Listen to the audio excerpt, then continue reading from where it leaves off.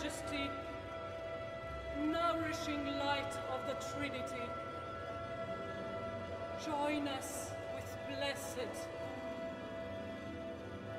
Amen.